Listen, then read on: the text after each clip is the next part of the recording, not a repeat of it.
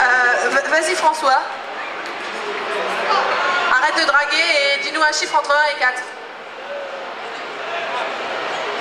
3, c'est parti.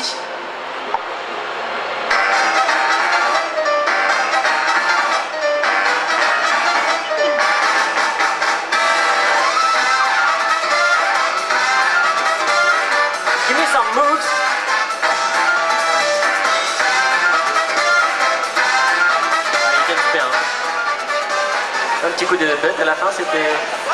Ah, le coup du butt. Le butt, c'est la partie à l'arrière du back, juste au-dessus de legs. Non.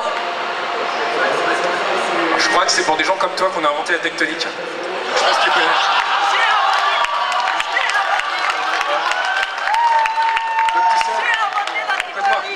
tu sais la tectonique c'était ce truc euh, que quand on le dansait dans les années 80 on avait l'air complètement stupide.